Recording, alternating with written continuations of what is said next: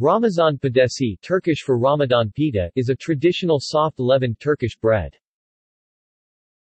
Round and rather flat in form, and having a weave-like patterned crust, Ramazan pidesi is made of wheat flour with yeast, and topped with sesame and nigella sativa seeds.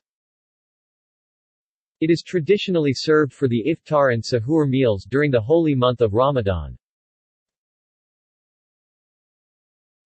See also Matnakash from Armenia. Naan Pita. Barbari bread from Iran. Tonis Puri. References